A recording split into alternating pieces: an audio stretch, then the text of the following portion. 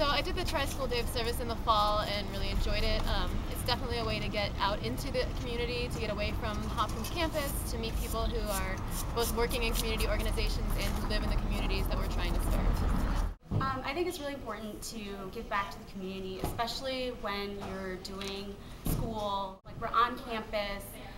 so many hours in the week and I just feel like I just feel like it's really important to take the time, you know, out of our studies to really look see where we are and give back to the community that you know has really given so much to us as well.